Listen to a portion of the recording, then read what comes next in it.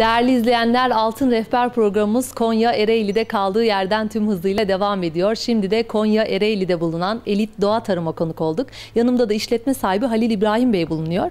İbrahim Bey öncelikle programımıza hoş geldiniz. Teşekkür ederim. Sizi biraz yakından tanıyabilir miyiz? Ali İbrahim Kocaarık, Elit Doğa Tarım sahibiyim. Ee, tarım üzerine Ereğli'ye hizmet ediyorum. Peki Elit Doğa Tarım e, ne kadar zamandır müşterilerine hizmet veriyor? Ee, yaklaşık 15 yıldan beri bu hizmeti yapıyoruz.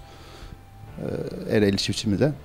Burada ne gibi hizmetler sağlıyorsunuz müşterilerinize? Biraz onlardan bahsedebilir misiniz? Mısır tohumdan tut, e, fide, e, gübre, ilaç, e, bu şekilde makina, e, ilaçlama makineleri, süt sağım makineleri, parçaları bu şekilde hizmet veriyoruz.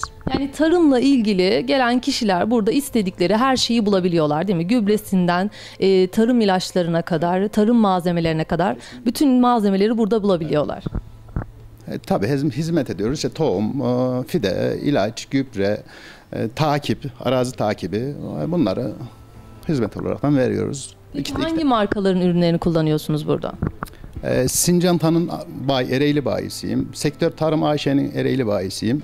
E, Bayer, Beyasev, Sincanta yani bunların hepsini polen, bunların hepsini satıyorum. E, Peki İbrahim Bey vermiş olduğunuz bilgiler için çok teşekkür ediyorum.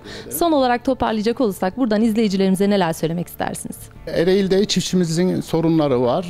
Ee, geçen yıldan kalan bir dolu vurdu Ereğli. Onlardan dolayı bankalara borçlular. Ee, tabii bunlar e, çiftçimiz e, bankalara ödeyeceğiz diye bizleri biraz geciktirme yapıyorlar. Ödemiyorlar veya bizde erteleme oluyor.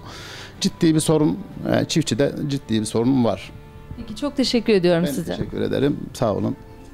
Evet sevgili izleyenler Konya Ereğli'de bulunan Elit Doğa Tarım'a konuk olmuştuk. Bakalım bir sonraki durağımız neresi olacak?